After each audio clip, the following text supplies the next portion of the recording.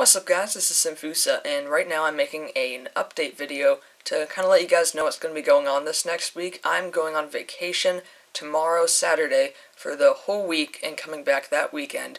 But do not worry, there will still be videos uploaded because I have pre-recorded four different videos of Surgeon Simulator 2013, um, which will be uploaded uh, as the week goes by. Obviously, uh, there won't be a video every day because I, I, I only had time to record four, but that means I will not be able to respond to any comments or annotate my videos or manage my playlists or anything like that, so just keep that in mind. Don't feel offended if I don't respond to your comments. And I guess that's really all I have to say. Uh, enjoy your week. I know I'll be enjoying mine. And this is my first time scheduling videos, so I'm not sure how, how well it's going to work out, but just bear with me here. Anyway, thank you all so much for watching. See ya.